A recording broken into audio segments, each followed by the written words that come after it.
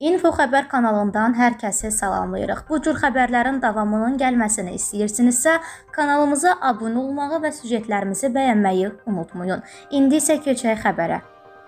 Dronlara gəlincə biz onları almağa davam edirik. Bunu prezident İlham Əliyev Il Pais qəzetinə verdiyi müsahibədə deyib. Müharibə başa çatandan sonra biz yeni modifikasiyalar almaq üçün yeni müqavilələr imzaladıq və qeyd etdiyimiz kimi eyni zamanda biz qırıcı, kamikadze deyil, kəşfiyyat dronları istehsal edirik və bu dronlar bazara çıxarılır. Azərbaycan 30-dan çox ölkəyə öz hərbi məhsullarını ixrac edir və biz artıq əsas ehtiyaclarımızı ödəyən hərbi sənaye kompleksini inkişaf etdirmişik. Biz bunu davam etdiririk çünki qeyd etdiyim kimi hələ də erməni revanşizmi təhlükəsi təhlükəsi var. Hələ də sabitliyin pozulması təhlükəsi var. Beləliklə biz hər zaman sərhədlərimizi müdafiə etməyə hazır olmalıyıq deyə prezident qeyd edib. Azərbaycan Ermənistan liderlərinin birbaşa təmaslarının davam etməsini alqışlayırıq. Bunu Rusiya Xarici İşlər Nazirliyinin rəsmi nümayəndəsi Mariya Zaxarova bu gün keçirdiyi brifinqdə bildirib. Liderlərin görüşü dünən axşam baş tutub. Müzakirələrə məzmunu ilə bağlı məlumatlar gəlməyə davam edir. Biz əlbəttə ki, bu məlumatları analiz edirik. Ümid edirik ki, baş tutan müzakirələrin yekunu Azərbaycan, Ermənistan və Rusiya liderlərinin üçtərəfli razılaşmalarının reallaşmasına kömək edəcək deyə Rusiya Xarici İşlər Nazirliyinin rəsmisi vurğulayıb.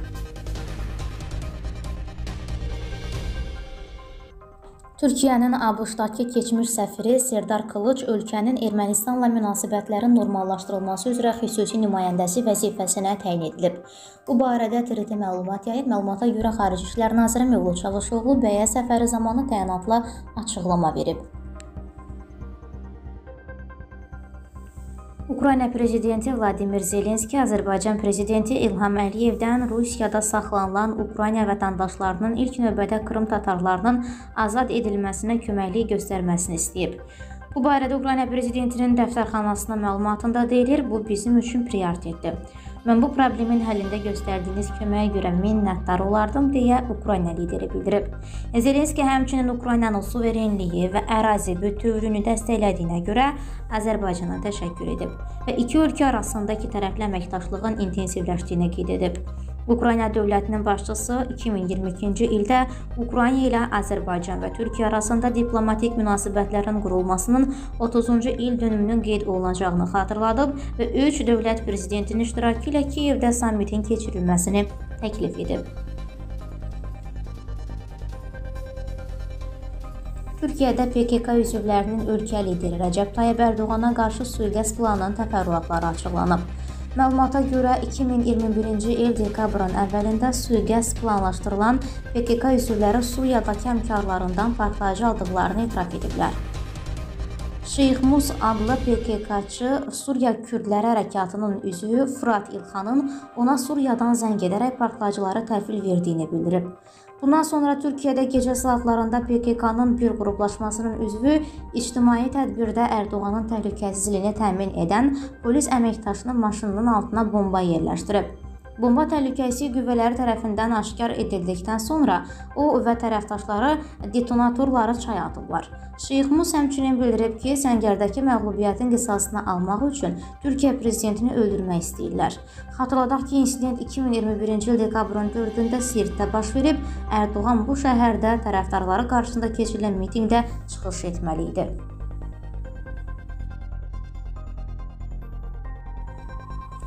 Səmimi desəm, biz heç vaxt prezident Putinlə TAP layihəsini müzakirə etməmişik.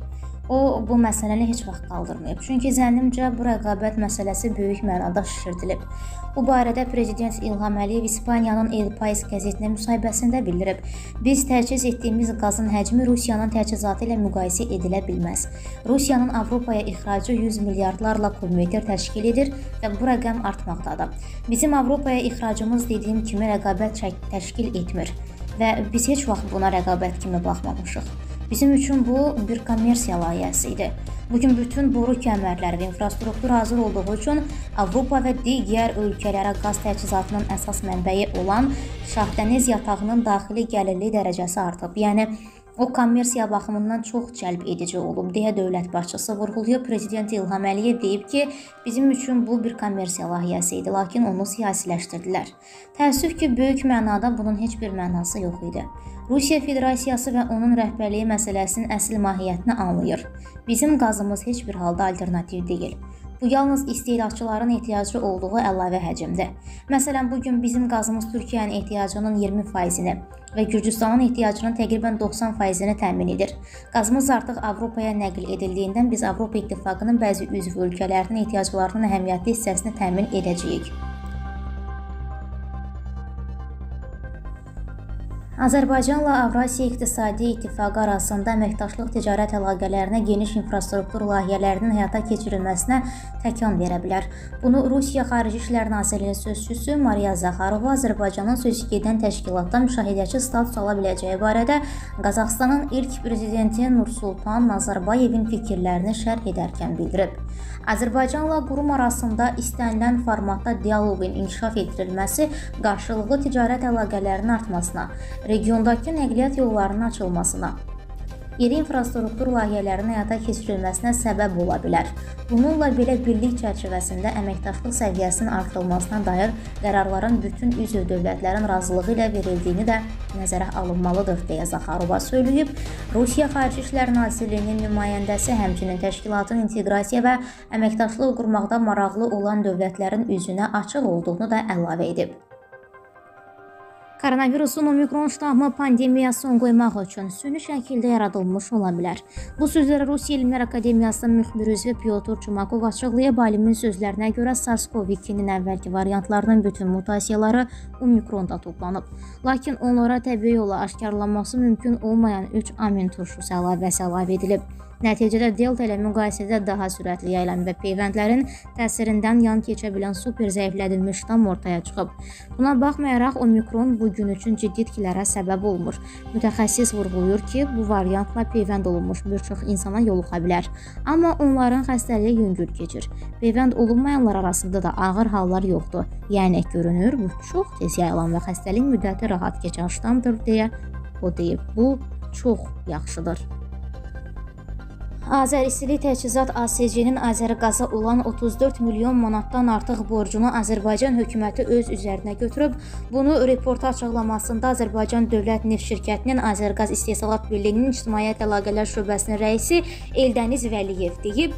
O xatırladıb ki, noyabrın 14-də Azərqaz və Azər İstilik Təchizatının rəhbərliyi arasında danışıqlar olub, çünki bir gün sonra, yəni noyabrın 15-də qış rejiminə keçid olacaqdı. Bu baxımdan vətəndaşlar vətəndaşların evlərinə istiliyin verilməsi zərurəti yaranmışdı. Danışıqların nəticəsi olaraq Azərqaz bunu quruma yaranmış borcun ödənilməsi üçün bir həftəlik möhlət verdi. Burada söhbət 34 milyon manatdan çox vəsaitdən gedirdi, amma Azəristili Təchizat Bu vəsaitin 14 milyon manatını mübahisəli predmet kimi qiymətləndirdi və 20 milyon manatın üzərində olan məbləğdən danışırdı. Buna baxmayaraq Azərqaz quruma bir həftə möhlət verdi.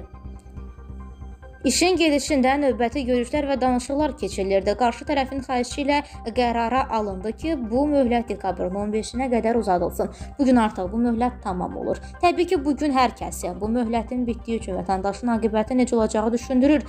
Hər kəsi qazanxanalara veriləcək müavi yanacağın dayandırılacağı və ya uzadılacağı maraqlıdır.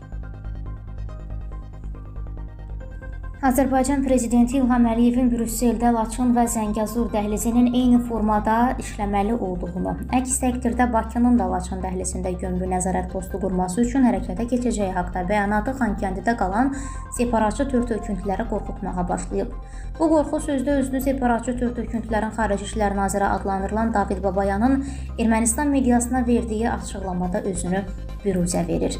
Babayan bildirib ki, Azərbaycanın mövqeyini proqnozlaşdırmaq olardı və onlar bu yanaşmanı gözləyirdi. Onun sözlərinə görə Azərbaycan bu addımlarla Xankəndidəki qanunsuz qüvvələri boğmağa çalışır.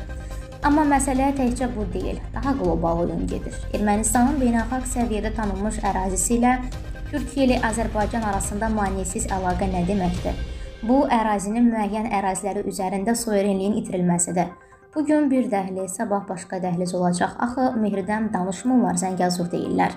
Zəngəzurda bir neçə dəhliz ola bilər. Əslində dəhlizlə bağlı ən azı 2 istinad artıq ortaya çıxıb. Biri Mehridən keçən dəmir yolu, digəri Sisyandan keçən avtomobil yolu. Separatçı bununla Azərbaycanın etmək istədiyinə dair özünün fərziyyələrini səsləndirib. Əvvəlcə Ermənistanı tamamilə parçalayır. Belə çıxır ki, Ermənistan ərazisinin təxminən 3də 1-nə nəzarəti itirir. Yalnız Sünük üzərindən deyil, bu deməkdir ki, Ermənistan İrandan qopur. Sünük tamamilə mühasirəyə alınıb. Azərbaycan və Türkiyə tərəfdən tam anklav vəziyyətindədir. Çünki onun Ermənistanla faktiki sərhədi olmayacaq. Təbii ki, Naxçıvanın Kəlbəcərlə birləşdirilməsi Şərqi Zaqafqaziyanın tam birləşməsi demək olacaq. Cinayətkar separatçı bildirib ki, Laçın dəhlizinin Azərbaycan tərəfindən istənilən nəzarətin yaradılması Xankəndinin boğulması demək olardı. Bu halda yalnız iki çıxış yolu olacaq. Ya yenidən müharibə olacaq, ya da burada bir erməni qalmayacaq. Buranın itirilməsi avtomatik olaraq Zəngəzurun Göyçənin itirilməsi və ümumiyyətlə erməni dövlətçiliyinin məhvi demək olacaq.